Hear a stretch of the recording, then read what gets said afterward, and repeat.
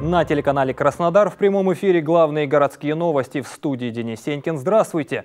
Прямо сейчас расскажу о важных и интересных событиях. И вот что вы увидите.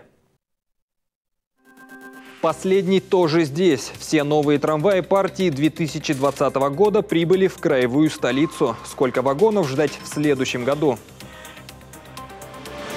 Отопление в домах и ситуацию с проблемой в ТСЖ «Солнечное». Обсудили в городской администрации, какие решения приняли.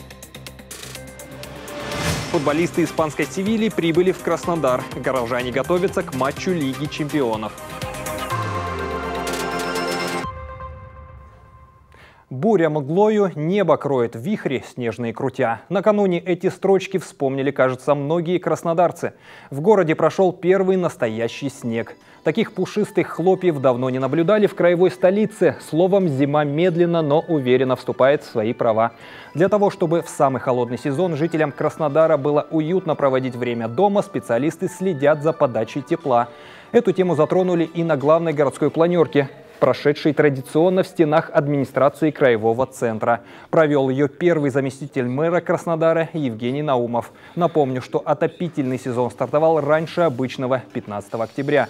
Все котельные в краевой столице были запущены по поручению главы города. С начала отопительного периода на территории города Краснодара произошло три технологических отключения на тепловых сетях. Это улица Сурмовская, улица Школьная и улица Гидростроителя. Зона ответственности по данным направлениям – это Краснодар Теплоэнерго АТЭК. С начала отопительного периода в ЕДДС поступили обращения жителей города Краснодара на недостаточное отопление в жилых помещениях. За весь период до сегодняшнего дня поступило 456 обращений.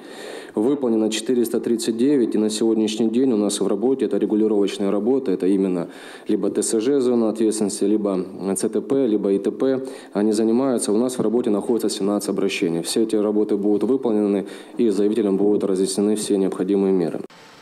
Из 236 централизованных котельных в городе запущены 235. Одна из них находится в управлении ТСЖ «Солнечная». Руководитель товарищества задолжал поставщику коммунальных услуг около 3,5 миллионов рублей. Газ в котельную поставлять перестали, а без отопления оказались три многоквартирных дома. На прошлой неделе Управление по жилищным вопросам инициировало проверку в отношении ТСЖ в связи с ограничением сейчас проверок согласовали ее с э, прокуратурой города. Составлен акт о нарушениях. Выдано предписание ТСЖ «Солнечная» о необходимости обеспечить предоставление коммунальной услуги, а также акт составлен в отношении «Газпром Межрегион Газа». Материалы направлены в Государственную жилищную инспекцию края для привлечения к административной ответственности. Евгений Наумов во время совещания отметил и другие важные направления, которым следует уделить большее внимание. Среди них соблюдение мер безопасности по недопущению распространения COVID-19, достройка проблемных жилых объектов и подготовка города к Новому году. Подробнее обо всем расскажет ведущий Виталий Молчанов в свежем выпуске «Делового понедельника». Программа выйдет в эфир сегодня в 19.40. Не пропустите. Меньше, чем на выходных, но все равно много. За сутки в крае врачи подтвердили 173 случая COVID-19. Из них 54 в Краснодаре. Заболели 11 детей. Почти 21 тысяча человек – это общее число заболевших в регионе. Выписаны 14 тысяч. 552 пациента спасти не смогли. В тяжелом состоянии остаются 42 больных. Под медицинским наблюдением в поликлиниках по месту жительства находится около 7 тысяч человек, включая полторы тысячи детей проведено миллион шестьсот тысяч лабораторных исследований. Накануне в краевую столицу прибыл 35-й трамвай из партии 2020 года. Таким образом, поставка новеньких усть-катавских вагонов, за которой мы следили полгода, завершена. Очередной трамвай, как и всех его предшественников, доставили в западное депо. Сейчас специалисты готовят к выпуску на маршруты 9 вагонов. 26 новичков в этом году уже вышли на линию и возят пассажиров. Напомню, стартовавшее в 2019 году обновление парка электротранспорта стало самым масштабным для КТТУ за последние 40 лет. Обновление подвижного состава идет при поддержке губернатора Кубани Вениамина Кондратьева. По его решению с краевого бюджета Краснодару выделили в общей сложности 3 миллиарда рублей на трехгодичную программу обновления. С ее начала на линию уже вышел 61 новый трамвай. В прошлом году город закупил 35 вагонов. В следующем планируется приобрести еще 30. Все они низкопольные, в их салонах есть электронное табло, USB-розетки и мощные кондиционеры. Масочный режим продолжает действовать в Краснодаре, в том числе и в общественном транспорте. Проверки и рейды, в которых проводят регулярно. На этот раз сотрудники полиции, МЧС и Роспотребнадзора встретились неподалеку от бальной лечебницы. А дальше все по привычной схеме. Полицейский останавливает автобус и проверяющие заходят в салон. Маски оказались у большинства пассажиров. Очередной э, раз мы проводим рейдовое мероприятие по масочному режиму. Данные рейды у нас проводятся регулярно, на регулярной основе, три раза в день, утром, в обед и вечером. Масочный режим у нас соблюдается в городе в основном уже почти на 95%. Люди все осознают э, данную ситуацию, которая происходит сейчас у нас в городе. Все реже и реже приходится напоминать пассажирам об их безопасности. А если маска есть, то и вирус не пройдет, и лицу чуть теплее. В школе молодого предпринимателя прошел последний очный мастер-класс для текущего потока. Программа направлена на популяризацию предпринимательства в Краснодарском крае. Обучение проходит по нацпроекту МСП и поддержка индивидуальной предпринимательской инициативы. Ученики школы встречаются с успешными бизнесменами и руководителями региона, которые делятся опытом и учат находить точки роста и развивать свое дело. Это уже десятый поток проекта. Впервые в этом году обучение проходило и онлайн.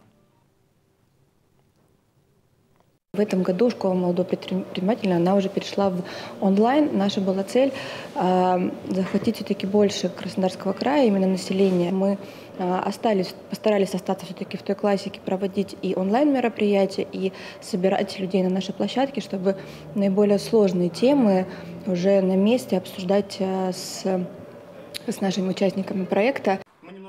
Благодаря цифровизации обучение перешло в формат нон-стоп, а количество участников проекта возросло почти в 8 раз. В этом году порядка 2800 начинающих и действующих бизнесменов прошли курсы и получили аттестаты об их успешном окончании. Организаторы уверены, что эти знания увеличат результативность работы и надеются, что это подтолкнет предпринимателей к активному использованию услуг поддержки МСП на Кубани.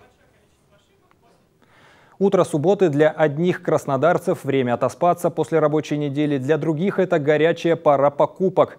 Солнце еще не взошло, а десятки небольших грузовиков со всего края везли в Краснодар овощи, зелень, мясо и мед – все они спешили на ярмарке выходного дня. Покупатели высматривают полюбившихся продавцов, а продавцы ждут постоянных покупателей.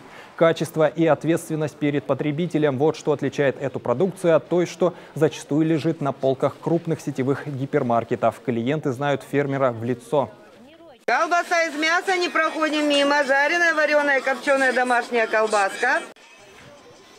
Ярмарок в Краснодаре много. Все за утро не объехать. В минувшую субботу открылись 17 площадок. На них сельхозпроизводители из 39 районов Кубани привезли на продажу почти 268 тонн продукции на сумму около 27 миллионов рублей.